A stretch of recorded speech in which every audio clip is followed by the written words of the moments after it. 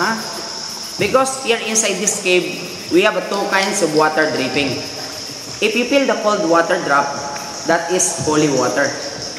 And if you feel the warm, urine of bats. That is what they call holy shit. Don't forget, remember. Don't say wow. You say, mmm.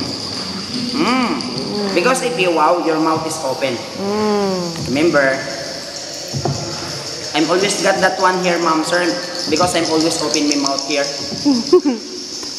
the test of that's not good.